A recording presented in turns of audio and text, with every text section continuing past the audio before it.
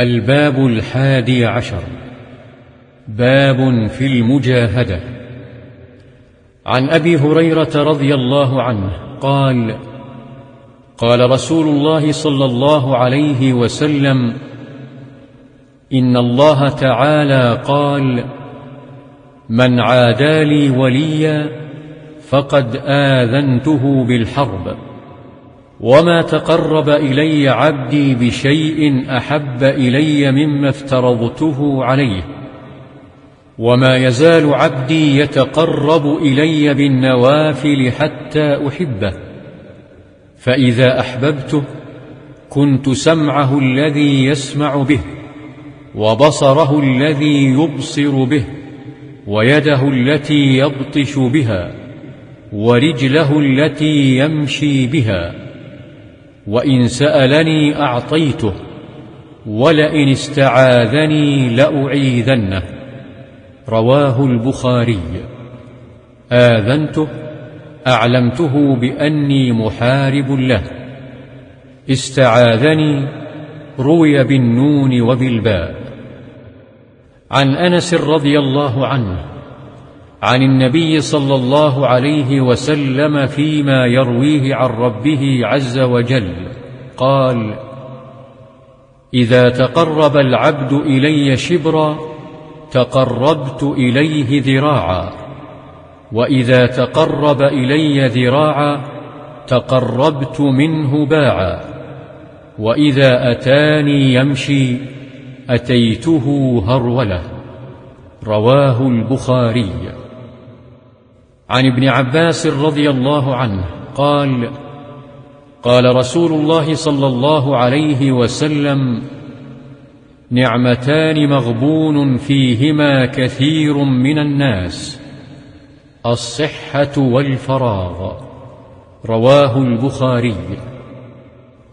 عن عائشة رضي الله عنها أن النبي صلى الله عليه وسلم كان يقوم من الليل حتى تتفطر قدماه فقلت له لم تصنع هذا يا رسول الله؟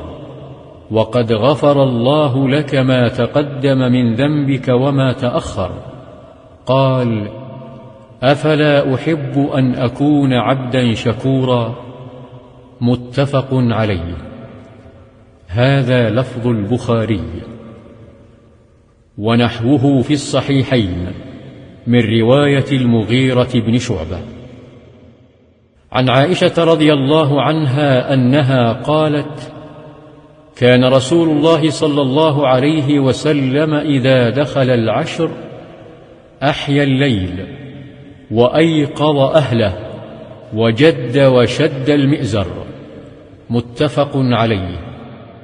والمراد العشر الأواخر من شهر رمضان والمئزر الإزار وهو كناية عن اعتزال النساء وقيل المراد تشميره للعبادة يقال شددت لهذا الأمر مئزري أي تشمرت وتفرغت له. عن أبي هريرة رضي الله عنه قال قال رسول الله صلى الله عليه وسلم المؤمن القوي خير وأحب إلى الله من المؤمن الضعيف وفي كل خير. احرص على ما ينفعك واستعن بالله ولا تعجز. وإن أصابك شيء فلا تقل لو أني فعلت كان كذا وكذا. ولكن قل قدر الله وما شاء فعل فإن لو تفتح عمل الشيطان رواه مسلم.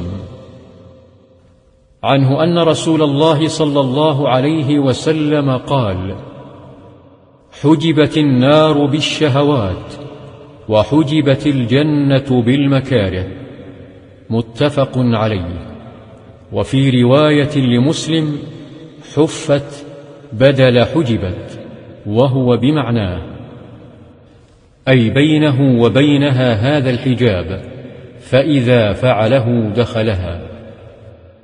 عن أبي عبد الله حذيفة بن اليمان رضي الله عنهما قال صليت مع النبي صلى الله عليه وسلم ذات ليلة فافتتح البقرة فقلت يركع عند المئة.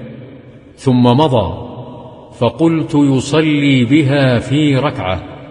فمضى فقلت يركع بها. ثم افتتح النساء فقرأها. ثم افتتح آل عمران فقرأها. يقرأ مترسلا. إذا مر بآية فيها تسبيح سبح وإذا مر بسؤال سأل.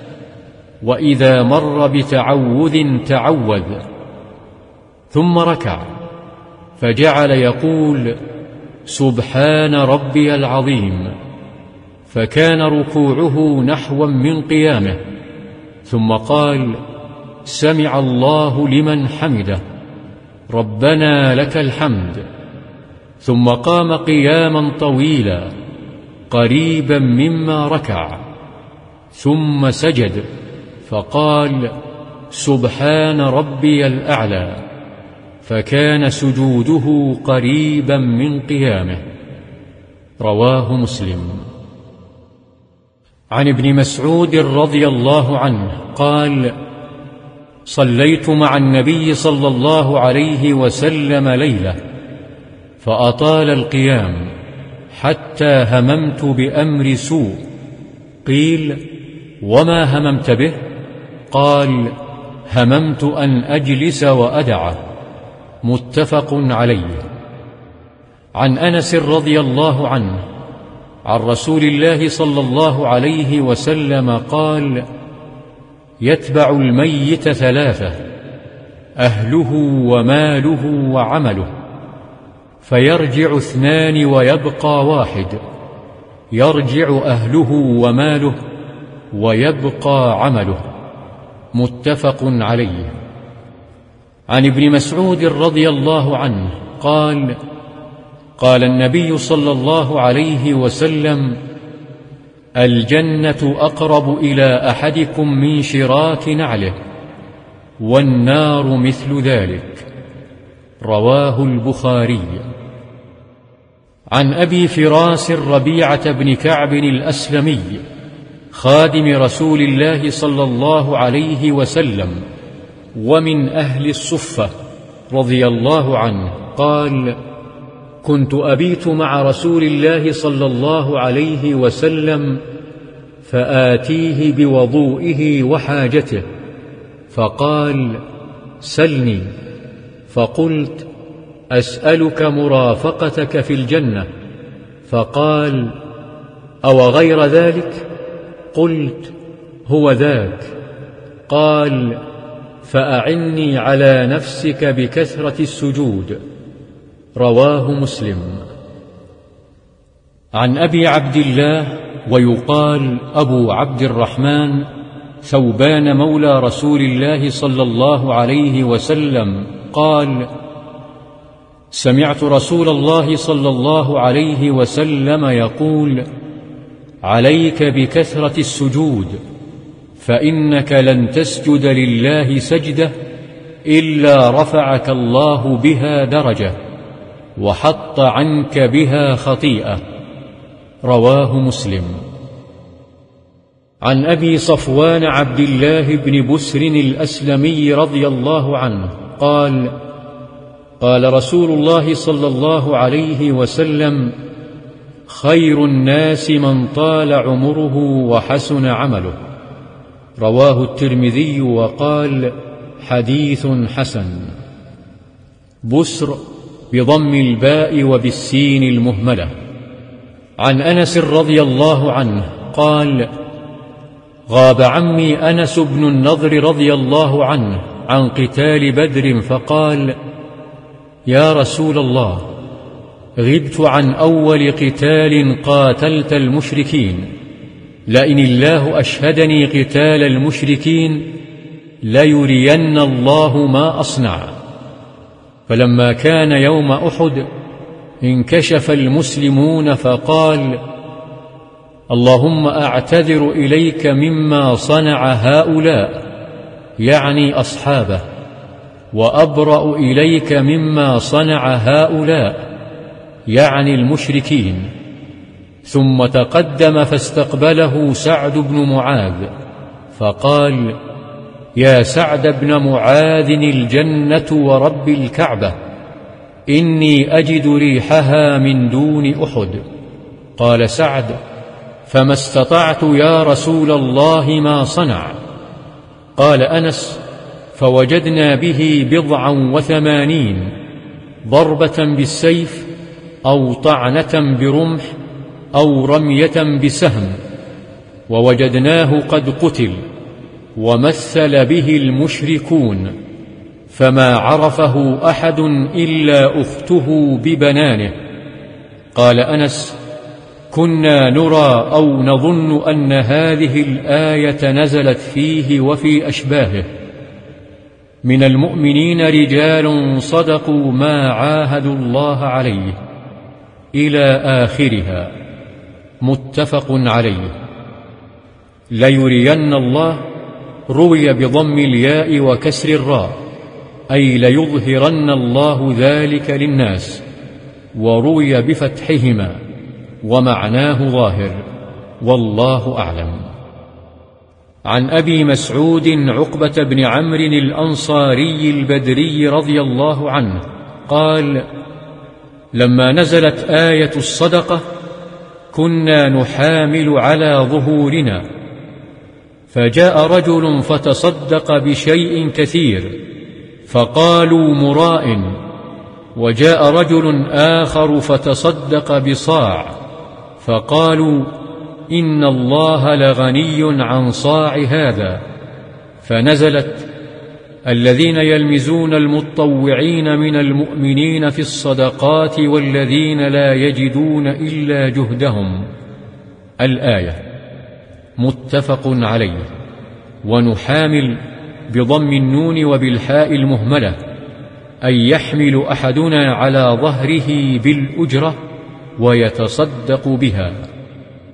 عن سعيد بن عبد العزيز عن ربيعة بن يزيد عن أبي إدريس الخولاني عن أبي ذر جندب بن جنادة رضي الله عنه عن النبي صلى الله عليه وسلم فيما يروي عن الله تبارك وتعالى أنه قال يا عبادي إني حرمت الظلم على نفسي وجعلته بينكم محرما فلا تظالموا.